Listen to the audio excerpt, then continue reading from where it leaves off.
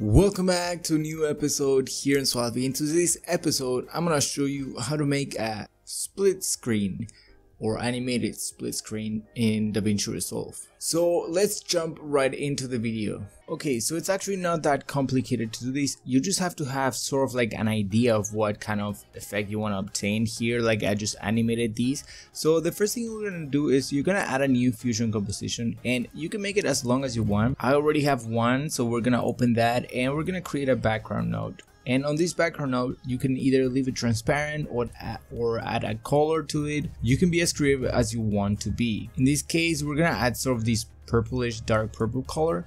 And the first thing we're gonna do is we're gonna create a merge node for every media in or like split screen that we want to have on our actual like scene. So we're gonna do that and we're gonna actually create the masks first and connect them to the merge nodes. So we're gonna create a mar um we're gonna create a mask that is sort of like a rectangle. And we're gonna try to put it here and then we're gonna try to see if we can fit three of these right next to each other.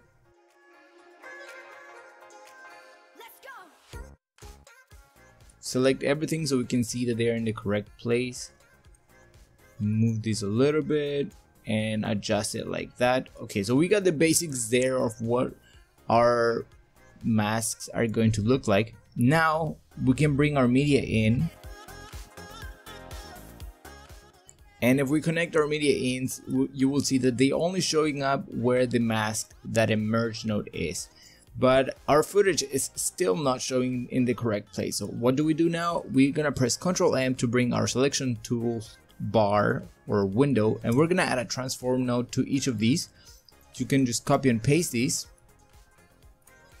And then for each of them we can adjust the positioning that we want the clip that we have here to have and then the main thing that you want to do is probably then just like animate how are they gonna come into our screen. Are they just gonna pop up? Are they just gonna like slide in. So what we want to do is we're gonna slide them in right? So we're gonna animate the position for each of these. Okay so then for this and rectangle this is gonna be the last keyframe. Then for this one we're gonna create this keyframe right here. And then for the third one we're gonna create the next one at 30 and then we're gonna go back and at 20 this one is gonna come from the bottom. This one is gonna start coming at 10 so it's gonna come from the top and then this other one is gonna come from the bottom also or you can animate from the side or whatever you want. Then if you want to make it a little bit smoother you can also go to the spline tool and select everything control a and press f and that will make the entrance a little bit smoother. You can also add uh, motion blurs if you want or that is up to you. Yeah, so let's just go back and check how this looks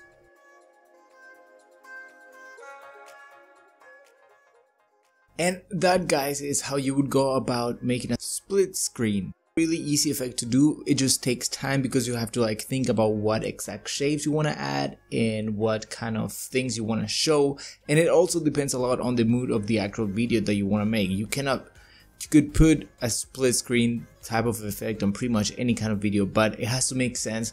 You could do this in real estate videos, concerts, pretty much anything. It's a really um, really flexible effect but you just gotta be careful to not overdo it just like everything else so I hope this video was helpful and if you did enjoy this video don't forget to leave a like and comment down below if you have any requests or any ideas for videos let me know down below and without further ado I just want to say thanks for watching once again and I hope to see you in the next episode here in SUALVI. Bye!